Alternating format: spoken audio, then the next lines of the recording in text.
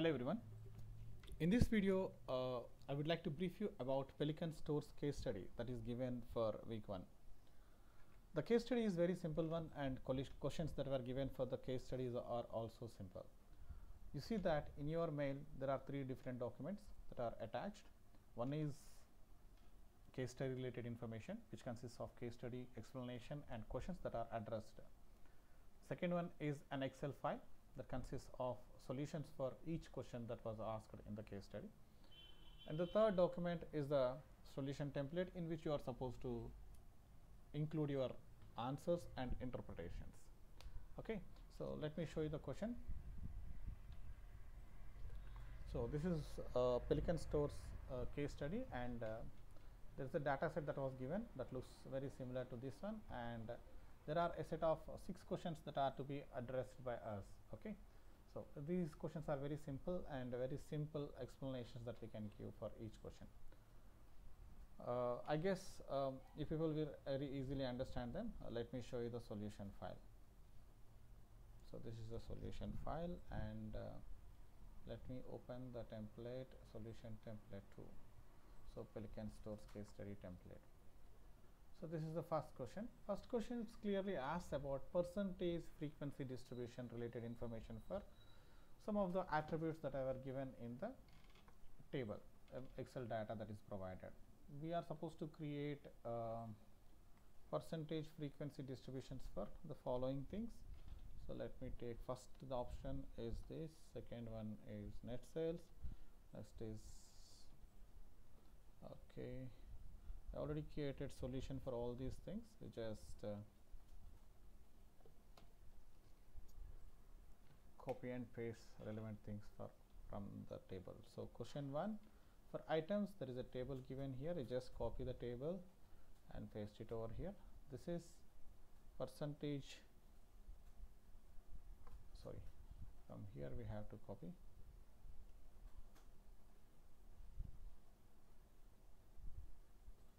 so this is. This is the item this is the count and this is percentage frequency. You can if you want you can remove this column.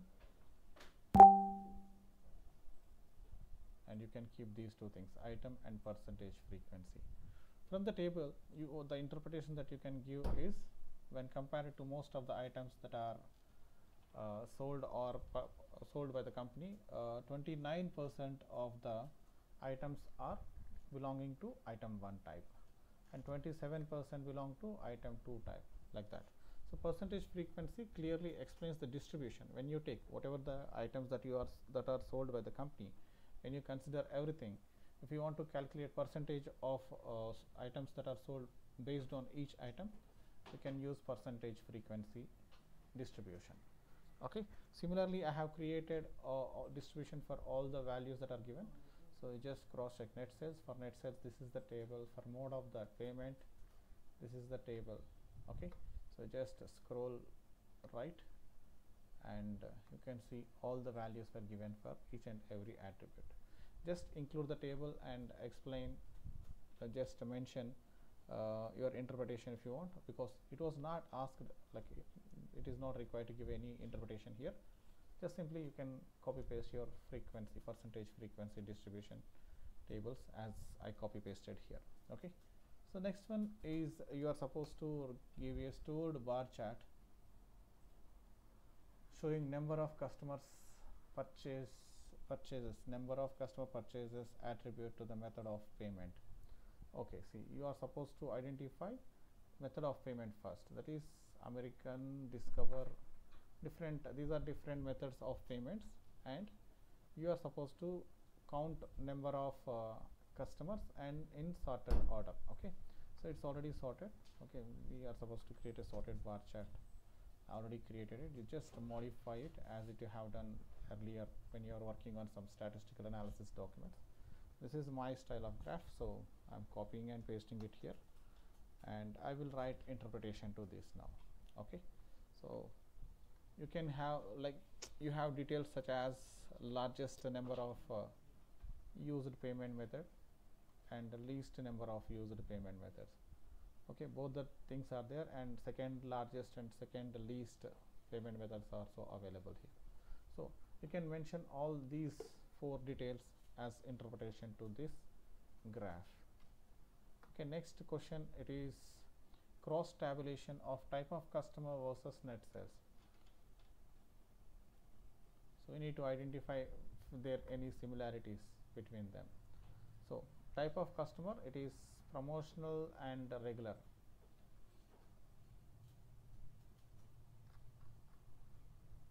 So we have two type of customers. One is promotional customer and another one is regular customer. So this is the tabular information. Cross tabulation means we have to create tables and uh, for promotional customer average net sales we have minimum sales we have maximum sales and total sales. So based on these details you just copy paste the table and uh, rewrite the headings. These headings you try to change and write your interpretation here. Okay when we compare net average net sales we say that promotional customer promotional type of customer is have highest number of average net sales when you consider minimum sales the promotional customers is having very minimum sale compared to the regular customer. Similarly you compare it for maximum sales value and total sales value. That's it. It's a simple thing. You can write your own interpretation. Next one we are supposed to create a scatter chart to explore relationship between net sales and customer age. Let us see the question 4 you can see that it's mostly flat but uh, from our observation it can be stated that there is some negative relationship between net sales and customer age okay? So um, during in mid middle ages we can see more most of the transactions were happening between uh, 30 and 50 and remaining all are very small okay when compared to the ages between 30 and 50 so as the age increases obviously uh, net sales value will be decreasing. So this is the scatter plot and uh, based on the trend value we can say that there is a negative relationship. Copy the image paste it here and you write your interpretation below the image. Next one you, sh you should create uh, a relationship between net sales and age based on the marital status of the customer. So I have created an image. So this is the image that I have created and uh, copy paste copy paste copy paste the image. So the detail that is uh, on this uh, shaded part is for married and that is in plain is for unmarried. So you just try to create your own observation. We see that when the person is unmarried the maximum sales amount is 200 whereas for a married person the maximum sales amount is 300 it shows that when compared to married and unmarried people the net sales value will be high when compared to it will be high for married people when compared to unmarried people. Next one uh, lowest value you can see based on the age factor. We, during this one if you see this over a period of time when we observed relationship between age and net sales it was in decreasing order.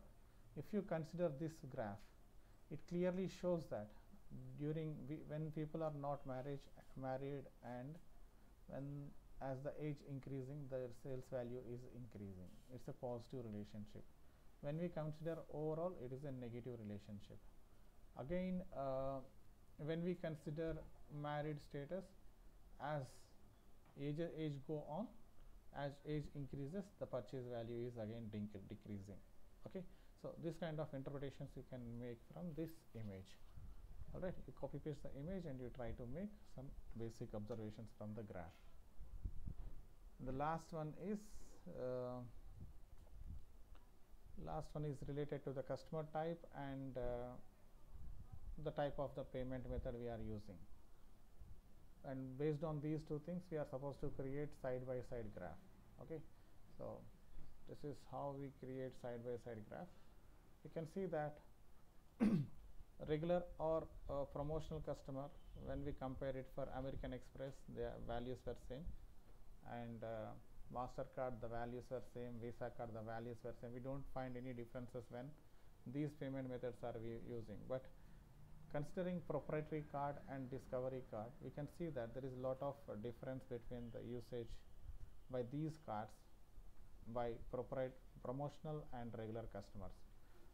Promotional customers mostly use proprietary card. We can see that 57 people were using proprietary card, whereas regular customers using 13 cards, 13, 13 times. So when compared to Discover, regular customers mostly using Discover card type of card and uh, promotional customers are zero in using Discover card. So these are the only two differences when uh, with respect to type of the payment method and uh, type of the customer and commonness is American MasterCard, Visa card are commonly used, equally used by both the type of the customers. So I expect you people to write these interpretations by copy pasting, modifying the graph and copy pasting it into it onto the document. Save your document, add uh, statistics textbook as reference and submit it to me. That's it. Thank you for thank you for your time.